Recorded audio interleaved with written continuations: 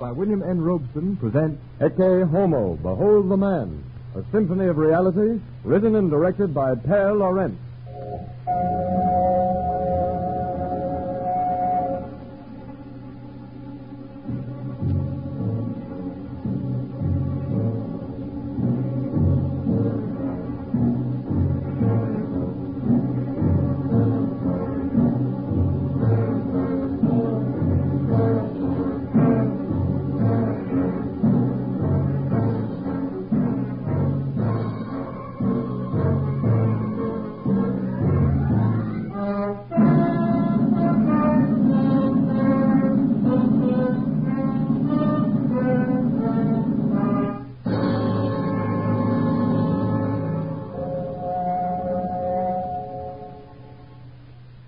Tonight, the Columbia Workshop is proud to present Pare Lorentz directing his first documentary radio play, Ecce Homo, Behold the Man.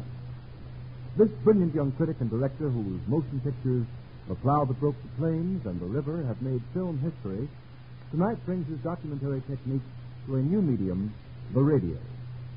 Based on official reports and on hundreds of case histories collected by government field men, Mr. Lorentz has created a factual drama. The Columbia Workshop presents Ecce Homo, Behold the Man. This is industrial America. Boston, Boots and shoes, fish and wool, Lowell, Quincy, reamers and dyes, silk and paper, sewing machines and motorcycles, Waterbury, Bridgeport, airplanes and ammunition, brass fittings and cotton shirts, submarines and watches, Paterson, Jersey City, paint and varnish, Vaseline and patent medicine, electric wire and asphalt, leather goods and silk, Philadelphia, Camden, radios and locomotives, streetcars and carpets, chemicals and furnaces, hosiery and turbines, children's clothes and boilers, Pittsburgh, Wheeling, tin plates and fire bricks, air brakes and plumbing fixtures, tube steel and freight cars, anthracite and mine machinery, aluminum and plate glass, drawing instruments and caskets, Buffalo, Syracuse, tin cans and roller bearings, wax candles and soda ash, mincemeat and typewriters, washing machines and light bulbs, Cleveland, Youngstown, nuts and bolts and printing presses, diesel engines and multigraph machines, electric batteries and steel forging, Akron, Toledo, airplane motors and rubber tires, beer bottles and spark plugs, steel hooks and microphones, spray guns and paper bags. This is industrial America. Detroit, Pontiac, Automobiles and trailers, trucks and buses, taxicabs and coaches, drop forgings and steel butchers, carburetors and paints, coal stokers and tear gas bombs, Chicago, Gary, bacon and beef and telephones, furniture and pipe organs, doors and sashes and fridge beams, marine motors and cotton gloves, transmission chains and saws, Indianapolis, South Bend, threshing machines and whistles, tractors and ball bearings, fruit jars and land lawnmowers, outboard motors and ornamental fences, Kansas City, St. Louis, grain elevators and pipelines, Pullman cars and beer, plows and drugs and breakfast food, Minneapolis, St. Paul. silos and skis, macaroni, ma- mattresses and cattle scales. This is industrial America, the power and glory of the richest country in the world, the factory of seven million men and women.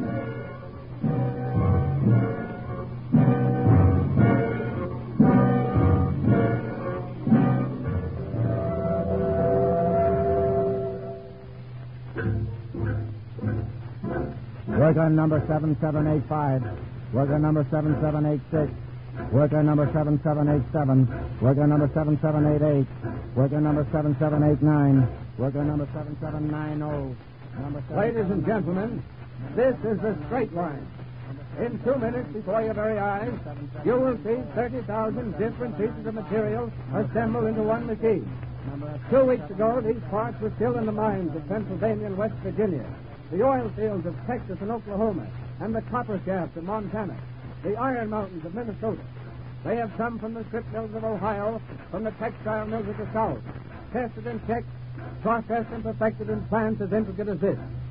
Along these two steel tracks, half a mile long, you will see steel, iron, brass, tin, lead, zinc, aluminum, chromium, and nickel. You will see rubber, micro glass, cotton, mohair, all fit into place, magically assembled into one tested perfect piece of machinery, the American automobile. Two days ago, these parts were moving through a hundred factories. On a hundred straight lines, they received the skill of thousands of men and women in order that they might reach this assembly plant in a state of perfection. You will see a new car drive off the line every half a minute. Here, through the vigilance and skill of workers, inspectors, managers, and scientists, men and machines create a perfect instrument. Here is a saga of human ingenuity, planning and coordination, the glory of industrial America. Here is the straight line.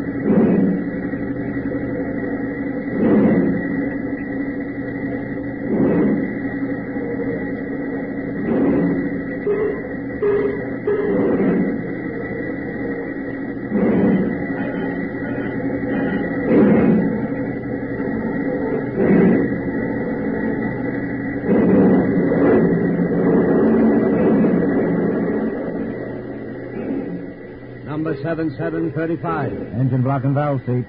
Number 7738. Crankshaft and connecting rod. Number 7740. Fenders and hoods. Number 7743. Rear spring. Number 7745. Rear axle and differential. Number 7748. Shock absorbers and gas tanks. Number 7750. Front axle and springs. Number 7754. Drive shaft and transmission. Number 7757. Engine block and installation. Number 7760. Crankshaft and valve seat. Number 7764. Piston and connecting rods. Number 7766. Spray paint and drying oven. Number 7780. Brake tubing. Number 7783. Wheels and tires. Number 7785. Steering gear and radiator. Number 7788. Doors and braces. Number 7790. Side and top welding.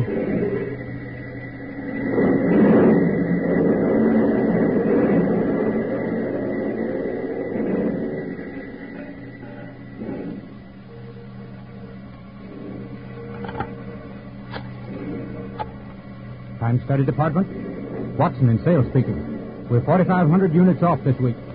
Right.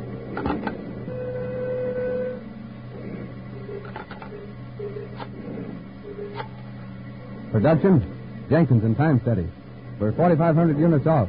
I'm sending the breakdown over.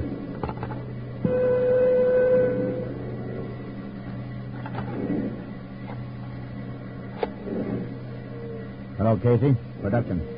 We're cutting down to three days a week.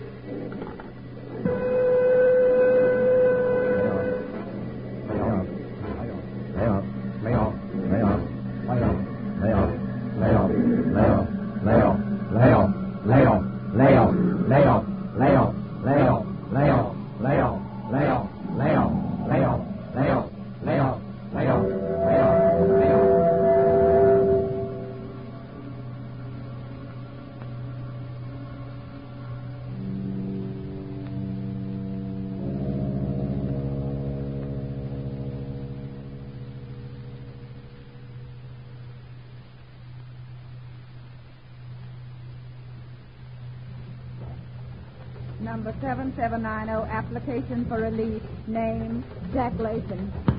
age 43, height 6 feet 1, weight 185, place of birth Louisa, Kentucky, father dead, mother dead, married a single, single, served in U.S. Army, Navy, or Marine Corps, Sergeant, U.S. Army, Infantry, 386th Regiment, 77th Division. Present employment? None. Real estate? None. Ever insured? Yes. Any insurance now? None. Property other than household goods? Automobile. Any income from blind or old age pensions, lodges, labor unions, U.S. government, or any other source? None. Cash securities, stocks and bonds, mortgages, certificates? Cash, $35. No other securities, etc. 7790 first paper pass. 7790 first application for release pass. 7790 7790 7790 7790 is headed west. 7790 west on Highway 40. West of Gary, west of Chicago Heights and Aurora. 7790 is headed west.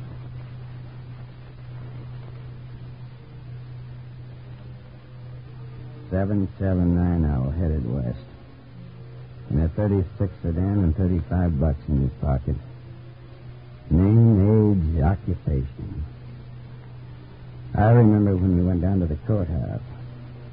You'd see the pine stretching clear across to Virginia then. You could kick a pheasant out of a laurel bush. You could go hook a bass at the head of the riffles and work a corn patch all in one day. I remember when we went down to the courthouse. They had the old boys in the fight for march with us. And I remember how Judge Adams got red in the face and waved his arms. Going to France to save the women and children. They kept picking up Ben Davis and putting him on the steps. Boy, was he drunk. I remember the kids didn't go to school. They stood on the freight cars and waved their little flags when the train pulled out. Yeah, it was hot in Chillicothe. 7790 riding with a million men on wheels. The cotton pickers riding on Route 90, out of New Orleans for Houston, through to San Antone, north to Oklahoma and Arizona, and the new cotton fields. When we came home, we used to sit on the courthouse steps and watch for the new cars going through town. They said it was the war, but they cut down the trees while we were away and put up electric light poles on the main street. They said times are different. The chemical plant killed the bass clear down past Black's Ford, and you'd walk ten miles to find a clear stream. They put up French 75 on the courthouse square. We used to sit all day Sunday talking and looking at the new cars. 7790 riding on the highway of the unemployed. The fruit tramps riding on the Delta Road, over from Jacksonville across the continent, clear to California. Up Route 99 for lemons and oranges, prunes and peaches. Up past Fresno and Washington and Oregon for apples. The man said that he'd give us all a hundred dollars in a railroad fare. Said they needed strong boys in the north. They gave us ten dollars a day in after. We bought silk shirts and got drunk every night. We stayed out all night and slept at the machines in the foreman used to throw wrenches at us. That was crazy then. You could spend all night at the amusement park and buy silk shirts. The body plant could get twenty dollars if you worked hard. We were twenty-seven then. I remember that tough inspector in Detroit. He caught me sitting down and he chased me clear out of the plant, and he had my check waiting at the cage as I went by. 7790 riding west on 40, west of the flat corn belts of Indiana and Illinois. The pickers riding west on Route 80 for lettuce, peas, onions, and spinach. Up 87 to Denver and Sheridan. Along the side of the Rockies to Billings and Great Falls for sugar beet. I remember in 27 when the production department said we couldn't weld zinc. We got the gas tank well going in six weeks. They gave us a bonus then. I remember in 29 when we built up 15,000 units a day. And then they put us on short time, and the married men only got four days a week. And then they put that 20-ton press in plant number 10 and got kids to stamp out tops and fenders, pushing buttons and punching out body tops and fenders. 7790 heading west, west across the Mississippi. The wheat hand heading west on Route 10 out of Minneapolis. West across the northern tabletop to Fargo and Grand Forks, Valley City and Bismarck. Over the divide from Miles City to Missoula and Spokane. Name, age, and occupation. They'll sit around the union halls, and the married men will get the first relief cards. They'll go to meetings, and the old men will get the first short time. They'll talk politics and cuss and wait for the food cards. But there's country in the West I've never seen. They said the youngsters get all the jobs, but the youngsters never carry duck boards out of breast with mud up to your knees. They said the bums go west, but they're building dams in the desert. They're cutting down mountains. 7790 riding with a million men on wheels. Coffee and hamburger, 10 cents. We fix flats, Chicken dinners and tourists. second-hand tires, free water. Idle rest. Hot dogs and pop. Today's special, pork and beans, 15 cents. Do drop in. Coffee free to truck The drivers. Hollywood cabins, 50 cents a night. Tourist bar. Light and water. Welcome to the city. Rotary luncheon, 12 on Tuesdays. Second-hand tires. Free water and air. We fix flats.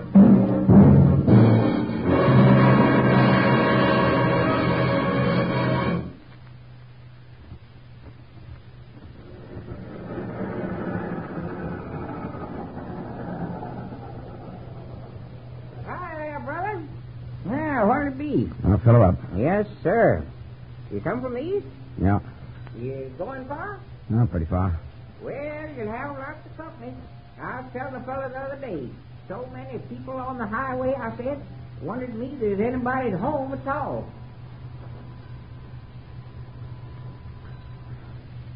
Well, that'll be a dollar ten with tax.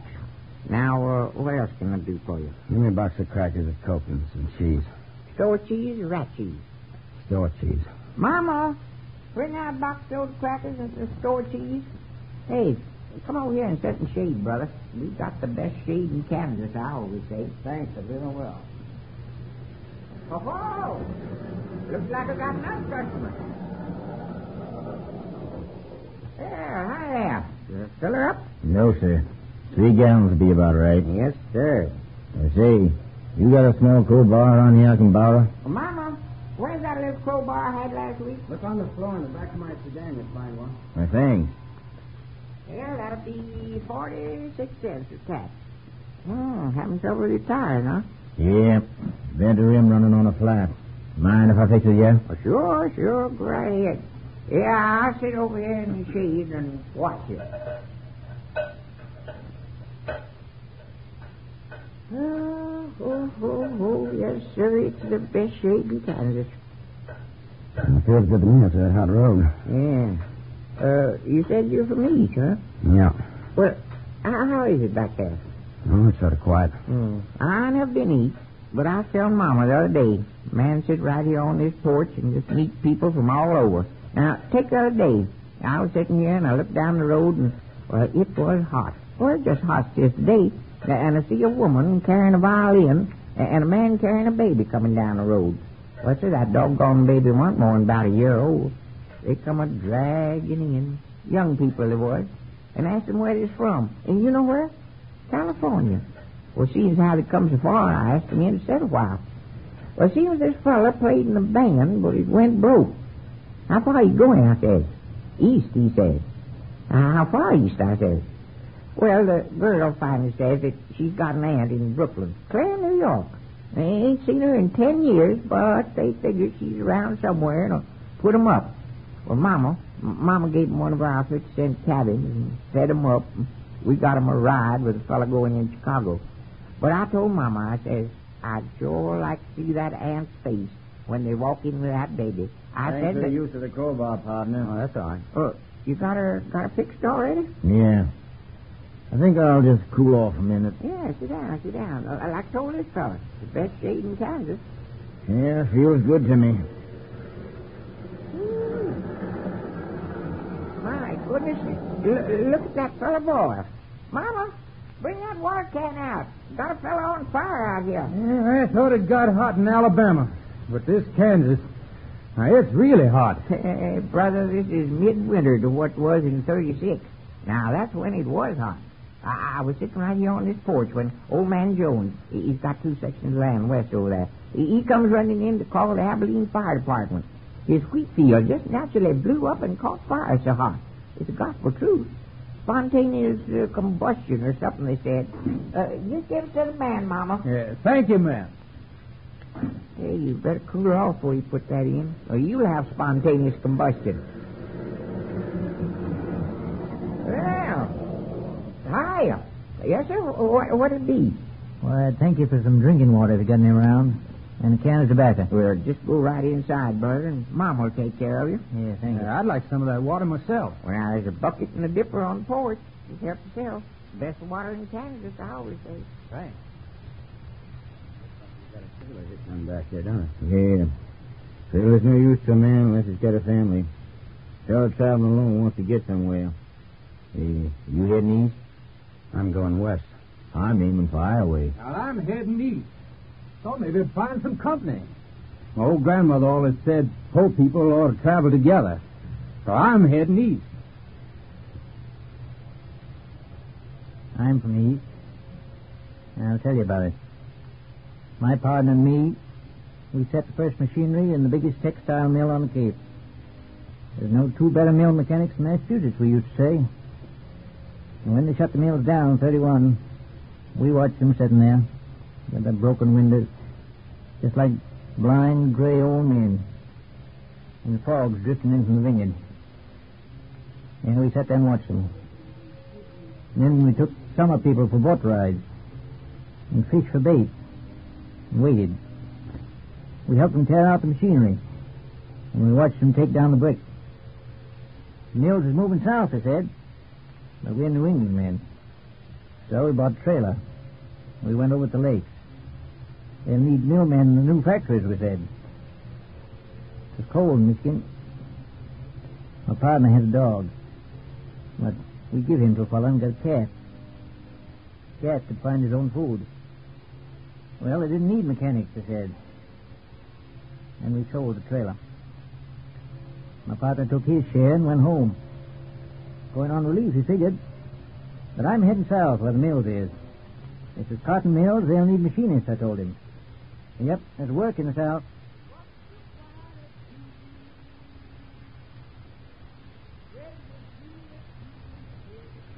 Brother, there's work in the South. There's work for eight million people. Planting cotton, chopping cotton, picking cotton, following the sun in the hot fields. There's work in the new cotton mills. Work enough at eight dollars a week. The length of choking you, the kids and the store man leaving you behind every Saturday. My granddaddy came over from Carolina before my daddy was born. Cleared himself a place in the pines. His people raised cotton for them. In 17, we had 150 acres in the clear, and cotton went from 50 cents to 6 cents in a week. The bank busted. We held on, but we had to go shares in 30. We never been ahead since. Sometimes seemed like the very fields are tired. Now they're talking about chopping cotton with machines. They, they say they're going to sell the mules and plant it and pick it and chop it and run it right over the mills on machines. Well, when my women folks went to the mills, I said, I'm going north. Why, I read where a fella died up there and left nine billion dollars. I said, I'm going north, where the mills pay you enough for radios and movies. I said, I'm going up where the money is. They said they're jumping off bridges in Akron. They said they're mumbling the bread lines, but the machine and the men are there. I remember when they told us we'd got to cut up 40 ships. They said it'd take two years to scrap 40 ships. I remember how the Swede rigged up a disc saw and we cut 'em down two in a week? Well, the machines are still there. I'm heading west where they're moving mountains. They took me west when I was six years old. My father moved me from Missouri. They said my lungs was bad. That the river was bad for my lungs. You could see the tan grass waving for 50 miles out there then. Nights I used to cry when the Rock Island whistled across the plains and the coyotes answered. I used to cry and once I tried to run away. Then they gave me a pony and a heifer of my own. And I never wanted to go back to Missouri. When I was 21, my father gave me a section of land. My brother and I ran three sections in 17. Then we went to war. And they plowed up the ranch. Told my father was patriotic, so they plowed it all while we were away. They brought the tractors and the combines. Fellows used to come clear from Chicago, plant a crop, go away. Suitcase farmers, we call them. They used to plow a thousand acres a week before the dust came. We stuck it six years. We sat six years and watched the dust. We watched the dust drift over the windows. Took all fall to push the dust off the field so you could raise another crop of dust the next spring. So we hit the highway in 36. I'll tell you about the West. There's work cutting grapes for a cent a tray. Money for gas enough to get you to the next camp. There's work picking cotton at ten cents an hour. Living in a migratory camp. Eating beans and meat the butcher throws away. And there's the nights in camp. With the children crying and the women staring at you. So a man can't stand it. I said I'd drown mine before I'd raise kids that way. So I'm headed for Iowa. My wife's following the crops with my brother, but I'm leaving the kids with kin and Iowa so they'll know what a home's like. Maybe I'll go back. They had to let the dynamiters down the side of the canyon on ropes at Boulder Dam. They blew up a mountain and made a lake in a desert and built the highest dam in the world. But you can't eat dams. They're changing the course of the second biggest river in the country, Grand Coulee. Yeah, but they can't figure out how to feed 11 millions of us. They hit quicksand up there. So they stuck brine pipes in and froze her and then dug it out. But the big boys have the machines. There's nothing but relief for the little men. There's men and machines and there's room. There'll be water enough for thousands of farms up there. Yeah, but the big boys have the money. There's room enough for 30 million people. Why, man, they're building the biggest piece of machinery in the world. But what'll you do when they're finished? They can build plenty more. They can make the desert green. Maybe they'll build a green city. Maybe they'll start east and build her all over again. Maybe there'll be farms for the little men. They can move mountains and they can shove rivers around. There's men and machines, and there's sun and land and room for a man to turn around in. And there's a man-sized job to be done.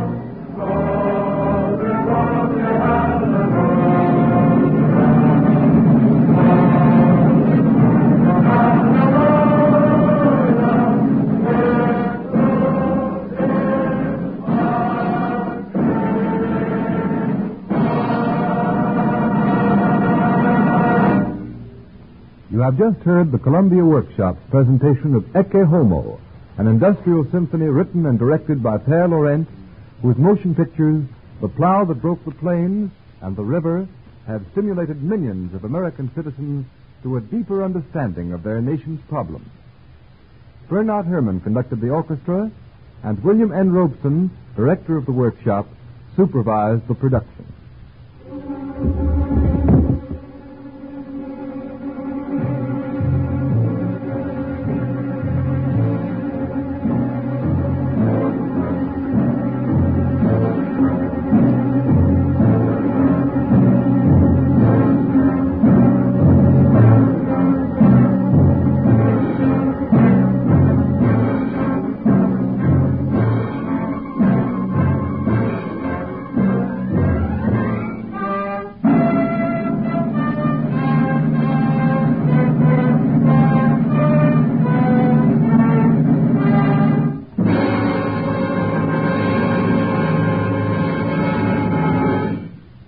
Is keenly interested in the reactions of the American public to Mr. Lorentz's treatment of the vital contemporary problems of men and the machine. Would you please give us your honest comments, your suggestions, your criticism? Merely address the Columbia Workshop, care of the Columbia Network, New York City.